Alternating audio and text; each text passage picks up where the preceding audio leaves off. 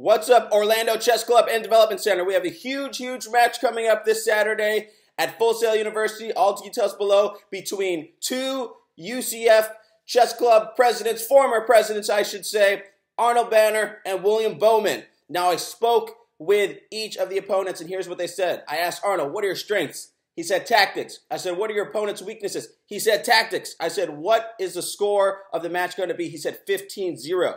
What? I asked William Bowman, what are your strengths? He said, I have the ability to complicate positions and confuse my opponents. And he told Arnold, watch, I will flag you. You're too slow. And I asked him what the score of the match would be. He said 14 to 1 because he's going to have pity on Arnold and let Arnold win the last game. So we have a very exciting match coming up this Saturday. All details below, and we'll have a press conference before the match occurs so we can just hype it up. And if the players are willing to stick around after, we'll have a post conference as well. And you can attend live or watch live on the internet. Again, all details below. Thank you for watching. We have an exciting match coming up this Saturday, March 3rd.